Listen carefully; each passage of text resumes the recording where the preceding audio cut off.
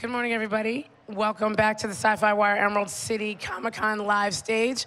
I'm Karama, your host, and yes, my voice is literally on the last day of this convention, so bear with us. Um, my next guest basically is from Portland, Oregon, Oni Press, which basically has been publishing both original and licensed comics like Rick and Morty, Scott Pilgrim, Queen and Country, Letter 44. And here to talk to us about Oni's 2018 lineup is publisher James Lucas Jones. Welcome. And, and my voice is about the same place Oh, great, is. good. So we're just gonna be over here like trying to be heard together. That's right. So now we've had Oni Press creators on stage like this weekend. Um, we had Steenz and Ivy Weir here for archi- archival um, quality, and we also had Charles Soule for Letter 44. Yeah.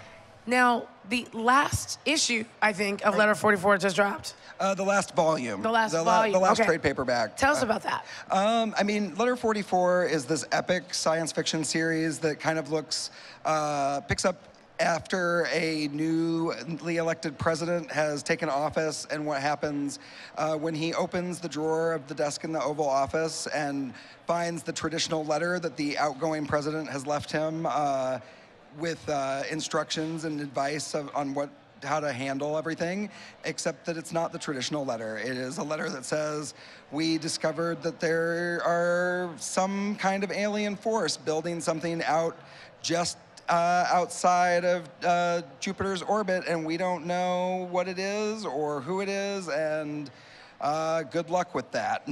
so it uh, is a series that splits its time both between like the political impact of that and the the on Earth impact of what that does, uh, along with a group of uh, scientists and astronauts who are going to make first contact. It's a really epic series that has a great high concept logline, but with Charles uh, and Alberto uh, Jimenez, who are, uh, or not Alberto Jimenez, I'm sorry. Um, Alberto Albuquerque were able to uh, do with that book, uh, in just in terms of escalation and um, continuing to kind of ramp things up. It, it's just one of the most epic uh, sagas in all of comics, and we're really proud to have published it, and we're really excited for people uh, to see the end of it. And, and people can still buy the entire Yeah, the series. entire series run is available. Okay, great. So if you're just form. hearing about this for the first time, you can still buy it. Um, and then this summer, we're launching new deluxe editions that ha- are oversized hardcovers. Uh, the first one of which uh, comes out uh, this yeah, later this year. Wonderful. What else is coming out? I've seen a few new titles. Um, we have so much great stuff for the spring. I know you already mentioned archival quality. Uh, also out this month is a new graphic novel, Sci-Fu, uh, by Yehudi Mercado. Um, that book is really special to me. Uh, it's the last book that I edited before moving from editor in chief over to publisher. Uh, and it's this uh, kids comic that is one part Ben 10, one part uh, Run DMC. It's, Oh, wow. um, uh, basically, this uh, young kid in Brooklyn in the early 80s manages to scratch the perfect beat, and it opens an interdimensional gateway that sends him on like kind of an Alice in Wonderland adventure uh, through all of these music-inspired uh, cartoon villains that he has to defeat in order to save the world. Wow. When does that one drop? Uh, that one comes out on March 14th. okay, great.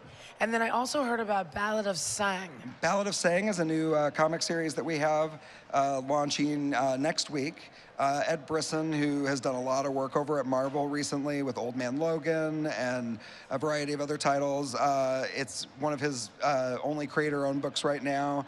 It is a really absurd, really action-packed, very violent uh, book about a child assassin uh, whose mentor is killed, and then he has to go on a uh, basically a revenge journey.